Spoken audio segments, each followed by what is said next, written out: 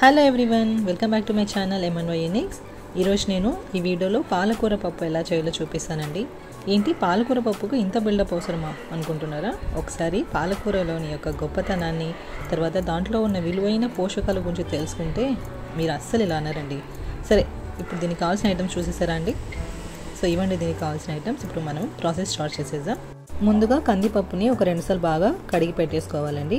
Video చూసాక పాలకూర గురించి గూగుల్లో సెర్చ్ చేసి దీని గురించి తెలుసుకోండి. ఈ కడిగిన పప్పులో మనం కొద్దిగా ఒక గ్లాస్ వాటర్ నేను యాడ్ చేశాను. ఇందులోనే రెండు కట్ చేసిన టొమాటోస్ కొద్దిగా చింతపండు ఇక్కడ నేను పచ్చిమిర్చి ఒక పది అలా తీసుకున్నాను.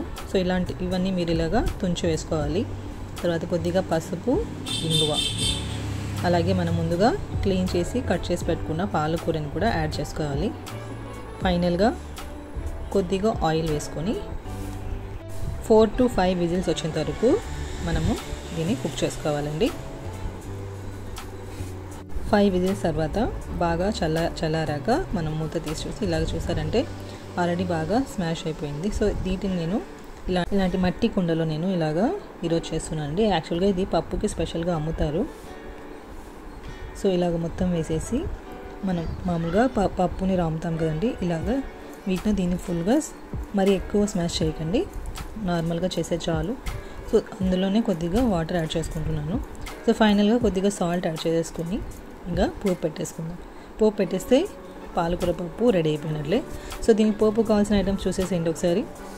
సో ఇప్పుడు మనం ప్యాన్ పెట్టేసుకొని గ్యాస్ మీద అందులో కొద్దిగా ఆయిల్ పోపు దినుసులు ఆనియన్స్ దంచిన వెల్లుల్లి రెండు ఎండుమిర్చి ఫైనల్గా గ్యాస్ ఆఫ్ చేసేసి కొద్దిగా కరివేపాకు.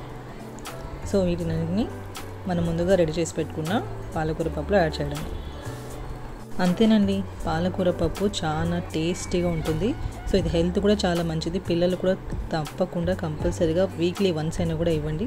వేడి వేడి అన్నంలో పాలకూర పప్పు కొద్దిగా నెయ్యి యాడ్ చేసుకొని తిన్నారంటే ఆ టేస్టే వేరండి. సరే ఈ వీడియో మీకు నచ్చినట్లయితే please like share and subscribe.